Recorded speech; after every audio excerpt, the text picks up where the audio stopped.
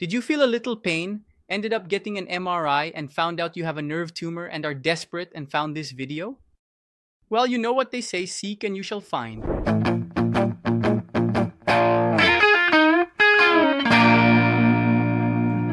Folks, schwannomas and neurofibromas are nerve tumors. Usually, the patient discovers it because they either feel a shock or notice a small tumor somewhere on their leg or arm, or they even undergo an exam and then find this lesion. Despite the name sounding quite intimidating like schwannoma, neurofibroma, 99%, of the time, they are benign tumors. And now, with this video, from this point on, you will understand everything about the treatment of a benign nerve tumor. First of all, I say benign tumor, and you need to be sure that it is indeed a benign tumor. Everything we are going to discuss here is for a benign tumor, understand that. A tumor that will not metastasize, will not spread throughout the body, and will not require you to undergo chemotherapy and radiotherapy. Why? Because if it is a malignant tumor, an aggressive tumor that is, on the MRI, you see that it is a tumor that spreads, that is already metastasizing. It is not a schwannoma nor a benign neurofibroma. These are malignant tumors, and the one who will treat them is not the peripheral nerve specialist, but the oncologist and the surgical oncologist. In one of the types of tumor, that is, the malignant one, you have to remove everything. We are not going to talk about preserving the function of your nerve. We are going to talk about cure, the chance of cure rate. The lesion must be completely removed.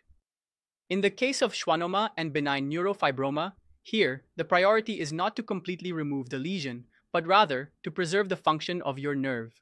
So, pay attention until the end, because here you will learn all the information that the oncologist you visited didn't tell you about your lesion.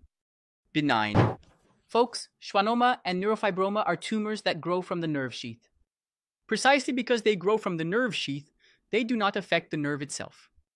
Therefore, you have a tumor that is sometimes even large because you took a long time to find it. However, the movement of your leg, hand, and arm are great because they were not affected.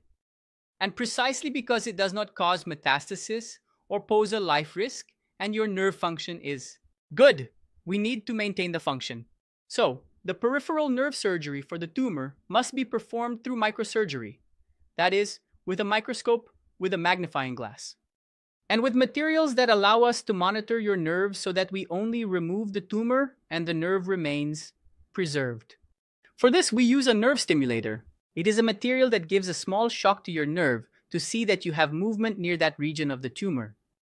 This allows us to remove the tumor by stimulating it and ensuring that no important part of your nerve passes through there. So, having a nerve stimulator is extremely important. If you are planning to have surgery and you ask your doctor, Doctor, are you going to use a nerve stimulator? And if he says no, be cautious. Why? How can you be sure you are removing the tumor and not a piece of the nerve if you don't have a stimulator? This is extremely important.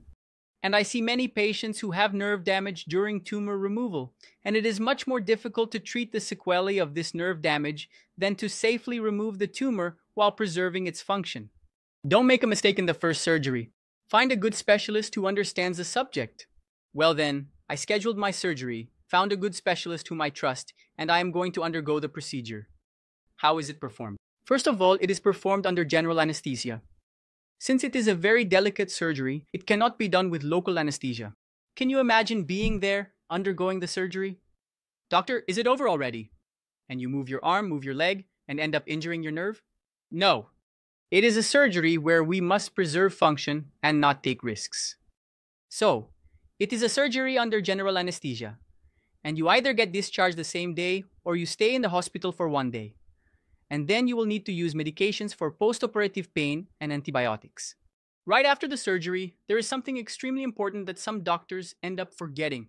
It is the following move as much as possible. Understand that it is not a bone surgery where you place a plate and a screw and the bone has to stay still to heal. No, in nerve surgery, we want movement in the postoperative period. By moving, you will not feel shocks, will not have adhesions, and will not experience pain. So, the more you move and perform myofascial release, the better your nerve surgery outcome will be. Oh, doctor, I don't want to have surgery. When do we contraindicate surgery? And the treatment is to not undergo treatment. In the following cases, if the tumor is not growing over time, if you do not have pain, do not have loss of sensation, and do not have loss of strength.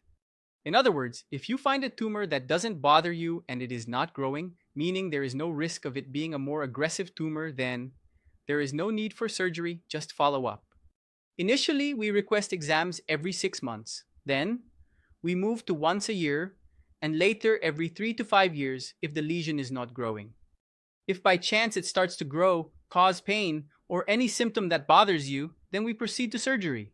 So, were you desperate before watching this video and now that you've seen it, did you understand, like my content, and feel more at ease?